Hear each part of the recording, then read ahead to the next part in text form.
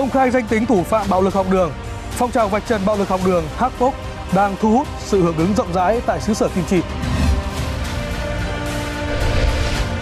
Thiếu bãi đỗ xe tại các khu chung cư nỗi ám ảnh của nhiều người dân Hà Nội hiện nay, đi kèm theo với đó là những cuộc tranh chấp mâu thuẫn chưa có hồi kết. Đúng cái vị trí trên cầu đấy, cái tay bay vào gió tự dưng lại xe lại bị người ta đập. Thực ra tôi cũng chả biết vì sao bởi bản thân tôi đi làm cả ngày.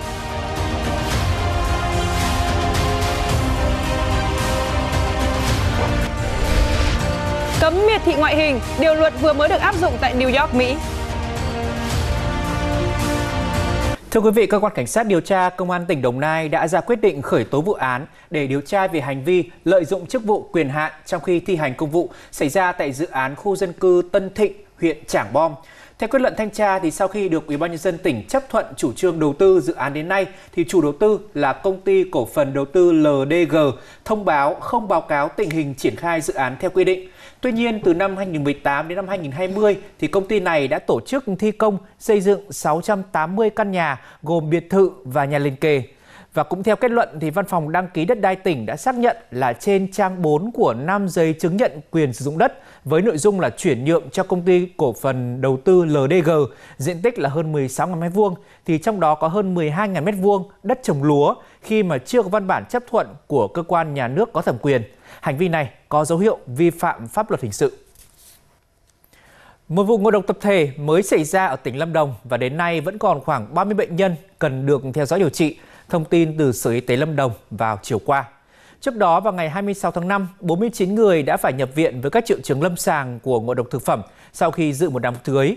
Chi cục An toàn vệ sinh thực phẩm tỉnh Lâm Đồng đã phối hợp lấy mẫu thực phẩm, mẫu bệnh phẩm, đồng thời làm việc với đại diện dịch vụ nấu ăn lưu động trong đám cưới nói trên. Cục Hàng không Việt Nam đề xuất thí điểm sử dụng tài khoản định danh điện tử mức độ 2 tại các cảng hàng không từ ngày mùng 6, mùng 1 tháng 6 đến ngày mùng 1 tháng 8 năm nay. Việc thí điểm này thay thế cho thực hiện kiểm tra căn cước công dân của hành khách đi máy bay như hiện tại. Tuy nhiên sẽ chỉ áp dụng với hành khách tự nguyện. Cổng kiểm tra trong thời gian thí điểm cũng chỉ mới áp dụng đối với những chuyến bay nội địa. Ờ, có một đường dây mua bán bằng giả trên mạng xã hội vừa bị lực lượng hình sự công an thành phố Thái Bình, tỉnh Thái Bình triệt phá. Hàng trăm loại bằng tốt nghiệp cấp 3, các trường cao đẳng, trung cấp, đại học, các chứng chỉ ngoại ngữ bị làm giả. Trong đường dây này thì nhiều con dấu của các cơ quan tổ chức, thậm chí là tem chống giả cũng bị làm giả. Mọi giao dịch, trao đổi đều được thực hiện thông qua mạng xã hội. Đủ các loại bằng, bằng gì cũng có. Nhiều nhất là bằng tốt nghiệp cấp 3, sau đó đến các chứng chỉ ngoại ngữ, chứng chỉ nghề, bằng tốt nghiệp của các trường đại học cao đẳng trong cả nước. Một quy trình khép kín và chuyên nghiệp khi từ những tấm bằng giả tiếp tục có những bản sao được in ra với những dấu chứng thực sao y bản chính của các phường, các quận, huyện. Ở đây thì có cả những con dấu cũng được làm giả. Và có rất nhiều những cái tấm bằng tốt nghiệp được xếp loại tốt nghiệp loại giỏi đã được in ra. Những lời quảng cáo, bằng đỏ trao tay, vận may sẽ đến, làm bằng giống 100% và bảo mật trên nhiều trang mạng. Đối tượng công khai số điện thoại, Zalo và tài khoản, nhưng tất cả đều là tài khoản mua lại. Mọi giao dịch trao đổi đều được thực hiện qua mạng xã hội, từ 2 triệu đến 3 triệu rưỡi một loại bằng. Liên hệ qua Zalo thì mình chỉ kích đường link ấy thôi, sẽ ra cái Zalo của cái đơn vị mà người ta cung cấp cho mình thì từ đó thì trao đổi thông tin Nhóm đối tượng hoạt động tại thành phố Hồ Chí Minh phân chia mỗi người một nhiệm vụ. Người cầm đầu chịu trách nhiệm thiết kế, in phôi, tìm các thông tin ghi trên bằng. Một đối tượng chuyên viết bài chạy quảng cáo, một đối tượng chuyên ký giả các chữ ký của lãnh đạo các trường và một người chuyên giao hàng. Em chỉ mua trên mạng ba cái nơi mà Bắc Trung Nam mình sẽ kèm thêm bản công chứng nữa cho người ta tạo thêm người ta một cái niềm tin để người ta nhận của mình họ chỉ cần họ cần những bằng đó để xin việc làm. Họ chỉ nói vậy thì em sẽ hỏi họ là cần làm bằng gì. Đó em thấy cũng có nhiều người ờ, cũng chạy quảng cáo như em. Theo tài liệu của công an số lượng bằng đã bán có thể lên tới hàng trăm với rất nhiều đơn hàng đã được thanh toán. Người mua ở nhiều tỉnh thành trong cả nước. Sản xuất rồi làm bằng giả là còn có những diễn biến phức tạp thế thì người dân phải nâng cao cái cảnh giác và tuyệt đối là không được sử dụng những tài liệu giấy tờ của cơ quan tổ chức mà do các đối tượng làm giả. Từ nhiều nguồn khác nhau, đối tượng đã làm giả con dấu của rất nhiều trường và tổ chức. Các đối tượng cho biết chỉ trừ các con dấu của ngành công an, đối tượng không làm giả. Còn lại tất cả các loại dấu khác chỉ cần có mẫu, đối tượng sẽ làm được. Các loại tem chống hàng giả, nhóm đối tượng khai nhận mua lại của một đối tượng khác trên mạng xã hội.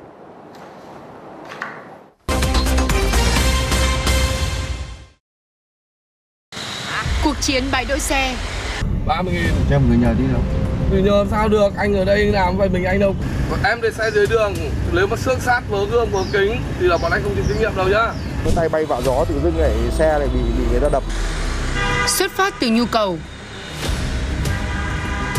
Cứ đỗ thấy chỗ nào trống cứ đỗ.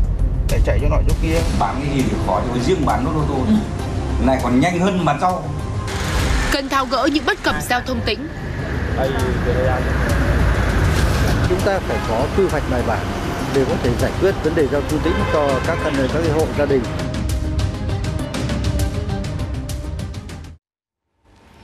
Thưa quý vị, mỗi phút thì à, người Việt mua một chiếc ô tô. Đó là con số được ghi nhận theo số liệu của thị trường ô tô Việt Nam trong tháng 4 vừa qua. Tình trạng thiếu chỗ để xe ô tô ở các chung cư cao tầng được dự báo là sẽ ngày càng nghiêm trọng. Đến năm 2025 sẽ có gần 80% người dân sống tại các đô thị có đủ khả năng để mua ô tô. Kéo theo đó sẽ là hàng loạt những vấn đề bất cập khi mà hạ tầng giao thông, đặc biệt là tại các khu chung cư, khu đô thị lớn chưa kịp thời đáp ứng ờ, so với nhu cầu của người dân. Tìm nơi đỗ ô tô tại các chung cư vẫn luôn là một nỗi ám ảnh với nhiều người dân tại Hà Nội. Không ít những tranh chấp, những mâu thuẫn đã xảy ra xung quanh câu chuyện dừng đỗ khi mà các bãi đỗ xe còn thiếu. Đi qua chỗ anh Hải đi. Cứ đỗ thấy chỗ nào trống cứ đỗ Để chạy chỗ nọ chỗ kia cho nên cũng bất an lắm Chống đâu độ đó, nên bất an cũng là dễ hiểu. Nhưng vì không có chỗ đỗ xe, nên nhiều người đánh đỗ tạm. Khi sự mạo hiểm đặt sai chỗ, thì cũng là lúc tài sản tiêu tan. Xe đã bị đập nát đây này Đúng cái vị trí chân cầu đấy Cái tay bay vạ gió tự dưng lại xe lại bị người ta đập Thực ra tôi cũng chả biết vì sao bởi bản thân tôi đi làm cả ngày làm hành chính mà trong đó không gây thù cái quán với ai, không có tư thù cá nhân với ai cả. Cái giờ hôm trước là có gần 20 cái xe là bị chọc thủng lốp tại vì bà con không biết có chỗ đỗ thì bị một số đối tượng đó là chạy ra không cho đỗ. Bảo là chắn ờ, chỗ đỗ của người ta rồi ờ, thu tiền. Nên là nhiều người thì không chịu nộp tiền nên là xảy ra là đánh cãi nhau ở đây rồi. Bức xúc cũng chỉ vì tranh giành chỗ đỗ xe. Khu đô thị HH Linh Đàm có 12 tòa nhà với hàng chục ngàn cư dân, nhưng chỉ có hầm để xe máy, không có chỗ đỗ ô tô. Bởi vậy nhiều người chật vật đi tìm chỗ để xe. Chuyện không của riêng chung cư nào, thậm chí xí phần từ ngõ nhỏ đến lòng đường. Đồng tiền đi trước là đồng tiền khôn, nhưng người đỗ xe trước thì chẳng biết là khôn hay dại. Sao vẫn chưa lấy được xe anh? Đây nó đang nhốt xe anh. Nhốt là sao ạ? Không đi ra được. Chầm đầu chầm đuôi. Đi từ sớm không được muộn. Tiến không được, lùi cũng không xong, nên chỉ còn cách chờ người giải cứu. Cũng may mắn thay, người đàn ông này tìm được số điện thoại của chiếc xe ngáng đường.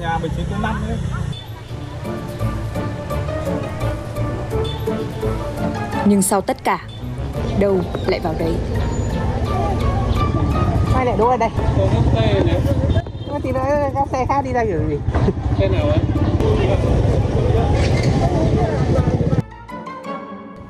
Chấp nhận may rủi để có được chỗ đỗ, nhưng có rồi lại càng thêm lo. Không không không thể ngủ yên được vì lúc nào phải lo. Vì cái xe mình có không được ai bảo vệ cả. Cái vấn đề là tìm nó rất bức xúc. Rồi lại tự trách mình, thả biết thế, chẳng mua xe.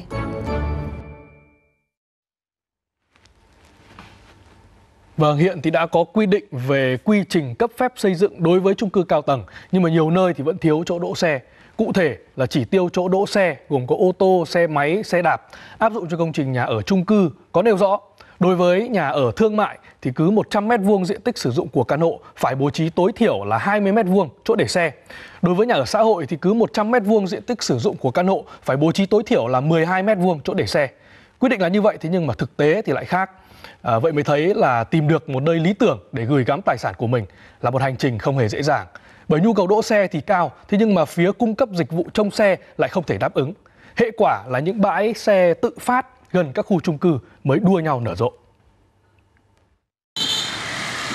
Xe đỗ kín vỉa hè, rồi lại tràn xuống lòng đường.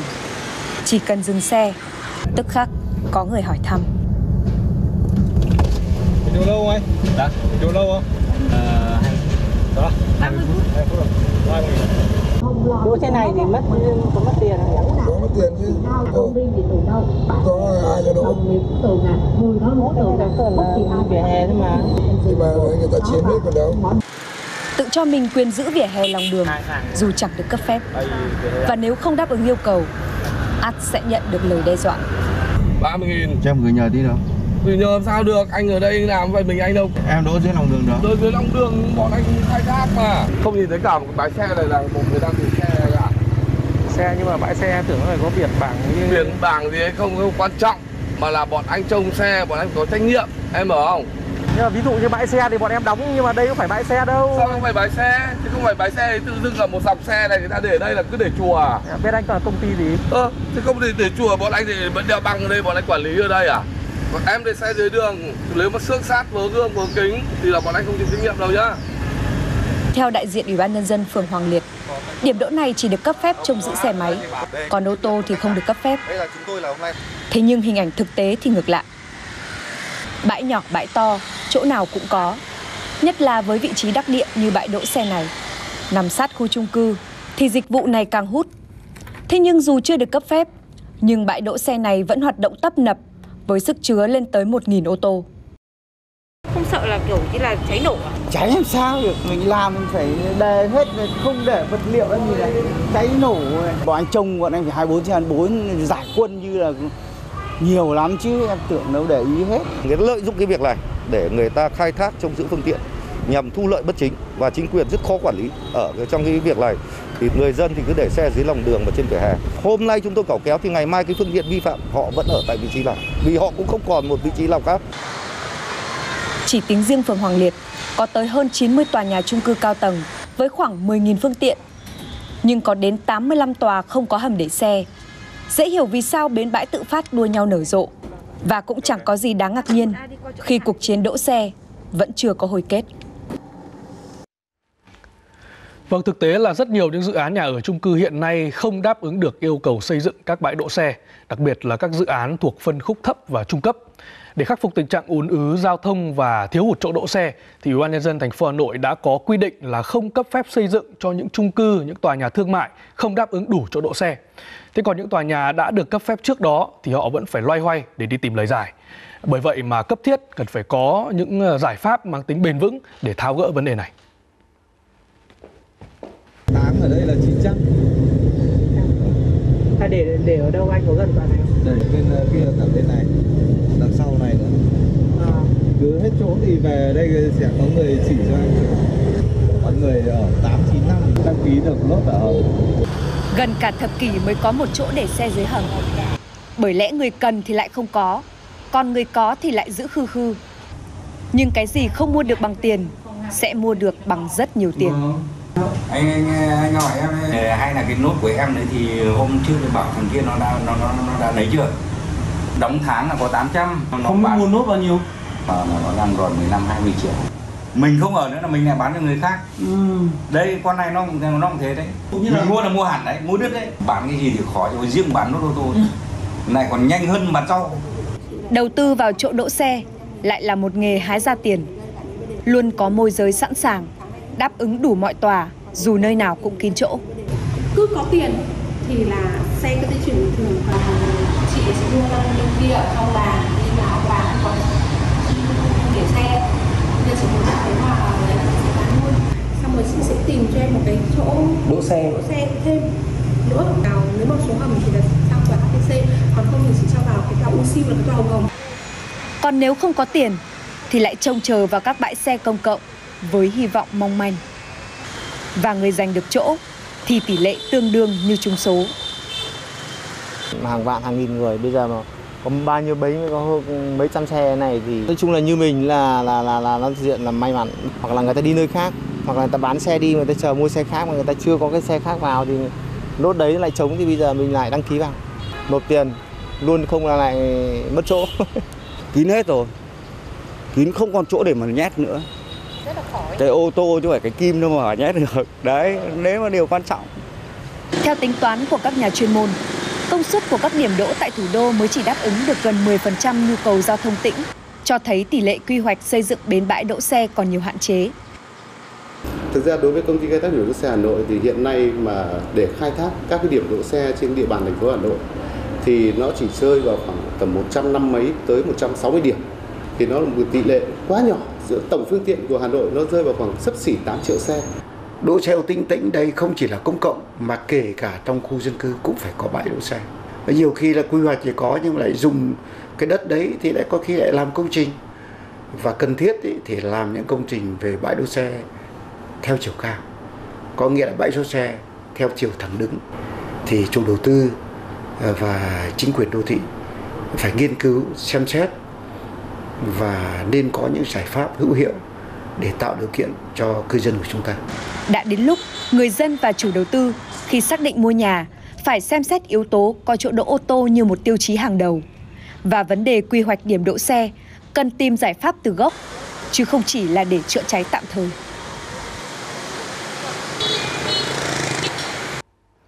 Thưa quý vị, khoa truyền nhiễm của Bệnh viện Hữu An Bắc Kinh cho biết là những người bị nhiễm COVID-19 lần thứ hai hầu hết ở độ tuổi từ 18 cho đến 60.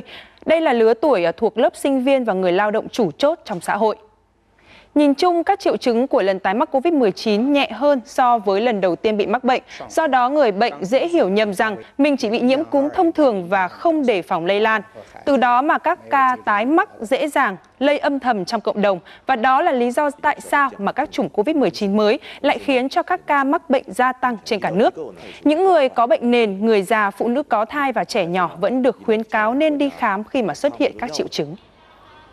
Thưa quý vị, gần đây Trung tâm Hiệu chỉnh cơ xương khớp Bệnh viện 1A thành phố Hồ Chí Minh tiếp nhận một số bệnh nhân bị gãy xương sau khi đi bấm huyệt bẻ khớp. Các bệnh nhân này có chung một điểm đó là đến các cơ sở được giới thiệu là làm một liệu trình là hết đau mỏi và được các nhân viên ở đây thực hiện bẻ khớp phát ra tiếng kêu. Tuy nhiên thì sau khi đi bẻ khớp về thì bệnh nhân lại thấy đau hơn nhiều và phải đến bệnh viện để điều trị.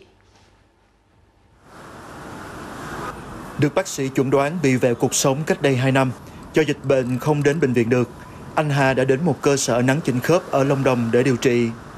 Thế nhưng, sau khi được một người gọi là thầy nắng chỉnh khớp, anh cảm thấy lúc nào cũng bị đau ê ẩm, khó đứng, khó ngồi. Đến lúc không chịu được nữa, anh phải đến bệnh viện để khám và điều trị.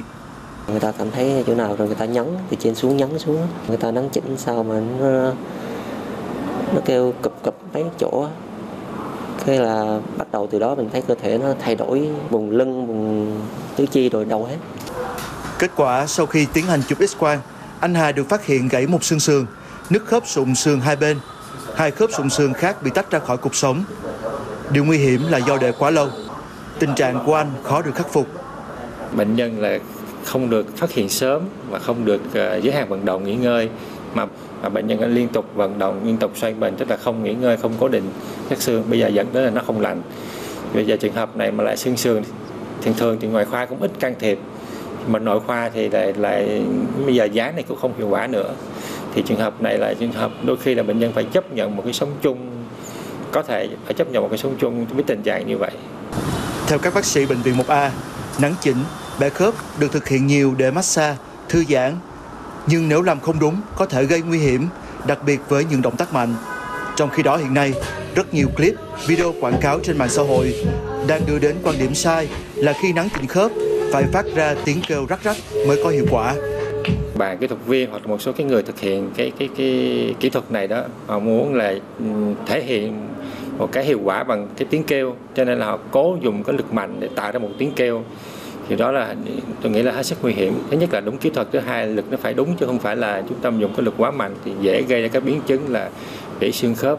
Các bác sĩ nhấn mạnh, việc bẻ khớp tại các cơ sở massage không phải là phương pháp điều trị chính thống. Ban đầu có thể đem lại cảm giác thoải mái, thư giãn, nhưng về lâu dài có thể dẫn đến tổn thương, chấn thương, khiến khớp bị thoái hóa. Nếu tác động mạnh, có thể bị bong gân, giãn dây chằng, nặng hơn là tổn thương cơ nặng, thậm chí là gãy xương. Thưa quý vị, thời gian vừa qua thì bộ phim truyền hình Hàn Quốc về đề tài bắt nạt học đường Glory làm khuynh đảo dư luận với câu chuyện quen thuộc mà không ít học sinh nước này đã từng gặp phải hay là chứng kiến. Sức lan tỏa của bộ phim đã tiếp sức mạnh cho sự ra đời của Hakpok, Me Too, phong trào vạch trần bạo lực học đường Hàn Quốc. Rất nhiều tiếng nói cất lên, không chỉ là lời tố cáo mà còn mang theo hy vọng chấm dứt vấn nạn nhức nhối này tại xứ sở Kim Chi. Đã 26 tuổi, nhưng chị Pyo Yerim, một thợ làm tóc tại Busan, Hàn Quốc, vẫn nhớ như in những năm tháng tiểu học của mình. Chỉ có điều đó không phải những kỷ niệm êm đẹp. Điều động lại trong ký ức chị Pyo Yerim là những lần bị bạn giấu kim vào giày, dúi đầu xuống bồn cầu và bị đá vào bụng. Giờ đây, chị đã quyết định lên tiếng. Khi tôi nói với giáo viên về vụ bắt nạt, câu trả lời mà tôi nhận được là em có làm gì sai với các bạn không? Sao em không chơi với các bạn mà cứ du rú một mình thế? Cố thân thiện hơn một chút đi.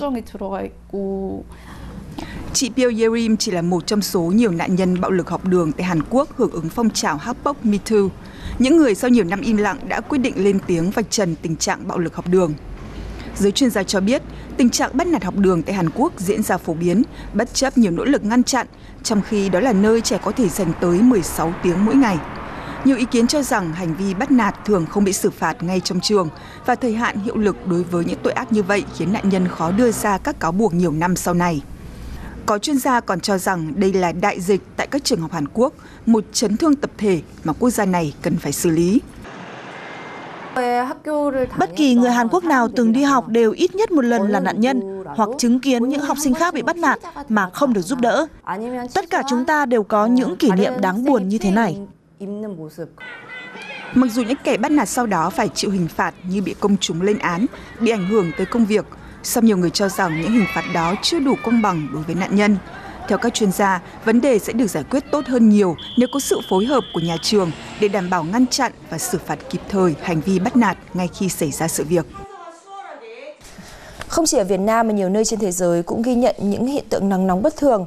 Như là tại Trung Quốc thì Đài khí tượng Trung tâm Thượng Hải ngày hôm qua đã phát cảnh báo nhiệt độ cao màu vàng, mức thứ hai trong 4 mức cảnh báo nắng nóng. Và ngày hôm qua thì cũng là ngày có nhiệt độ cao nhất trong tháng 5 trong hơn 100 năm qua tại thành phố này. Thông tin cụ thể về đợt nắng nóng này từ phóng viên Thái Bình tại Trung Quốc.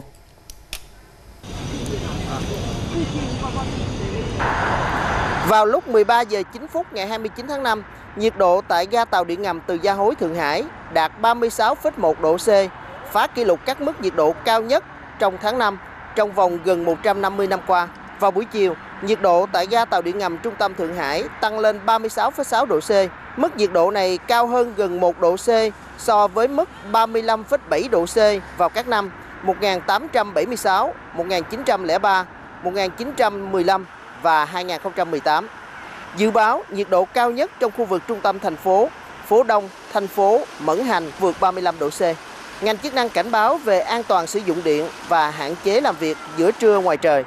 Liên Hiệp Quốc cảnh báo giai đoạn 2023 đến 2027 sẽ là thời gian 5 năm ấm nhất từng được ghi nhận khi mà hiện tượng nhà kính, hiện tượng El Nino kết hợp làm nhiệt độ tăng mạnh. Để tránh cái nóng, người dân bắt đầu chuyển nhiều hoạt động sang buổi tối.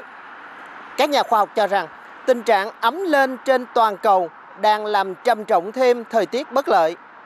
Nắng nóng đến sớm, lập kỷ lục tại Thượng Hải, làm nhiều chuyên gia lo lắng. Tình hình nắng nóng năm nay sẽ diễn biến phức tạp, gây nên nhiều hệ lụy đến sản xuất và sinh hoạt. Thái Bình, phóng viên thường trú Đài truyền hình Việt Nam tại Trung Quốc. Tổ chức Y tế Thế giới WHO đã hối thúc các chính phủ tại khu vực Tây Thái Bình Dương ngừng trợ cấp trong hoạt động trồng cây thuốc lá. Theo WHO, thì hơn 1 triệu hecta đất tại khu vực Tây Thái Bình Dương đã được sử dụng để trồng thuốc lá, trong khi hàng triệu người vẫn đang đối mặt với tình trạng mất an ninh lương thực. WHO cho rằng nếu dùng 1 triệu hecta đất này để trồng các loại cây lương thực thì sẽ uh, đáp ứng được nhu cầu của hàng triệu người. WHO nhấn mạnh đã đến lúc trồng cây lương thực chứ không phải là thuốc lá, đặc biệt là khi có tới hơn 400 triệu người trong khu vực sử dụng thuốc lá và 3 triệu người dùng thuốc lá tử vong mỗi năm. Thị trưởng thành phố New York, bang New York của Mỹ vừa ký ban hành luật cấm miệt thị ngoại hình, tức là việc chê bai hay là nhận xét tiêu cực về chiều cao hay là cân nặng ở nơi làm việc, trong nhà hay là những địa điểm công cộng. Luật chống miệt thị ngoại hình được thị trưởng Eric Adams nhấn mạnh là việc đúng đắn nên làm và khoa học đã chỉ ra rằng hình dáng cơ thể không liên quan đến việc khỏe mạnh hay là không. Ủy ban Nhân quyền của New York được giao nhiệm vụ điều tra các vụ khiếu nại sau khi luật được ban hành ngoại hình hay là cân nặng các yếu tố khác liên quan đến uh, đến phân biệt đối xử như là chủng tộc, giới tính, tuổi tác hay là sở thích tình dục cũng được liệt vào danh sách cấm chê bai. Theo báo New York Times, luật cấm miệt thị ngoại hình được đưa ra một phần là do tình trạng béo phì ngày càng gia tăng ở Mỹ. Hiện nay thì hơn 40% người Mỹ trưởng thành được coi là béo phì. Tiếp tục với những tin tức quốc tế đáng chú ý, thưa quý vị, hàng trăm con chim chết giạt vào bãi biển Changa ở tỉnh Coquimbo phía bắc của Chile một cách bí ẩn, khiến cho người dân địa phương và chính quyền lo ngại về môi trường. Hiện thì chưa rõ nguyên nhân gây ra cái chết của khoảng 200 con chim này. Chính quyền địa phương đã gửi mẫu của những con chim đến phòng thí nghiệm ở Santiago để xác định xem chúng có chết vì lây lan cúm gia cầm hay không. Các nhà chức trách đã cảnh báo người dân địa phương không thu gom những con chim chết để tránh khả năng lây nhiễm cúm gia cầm.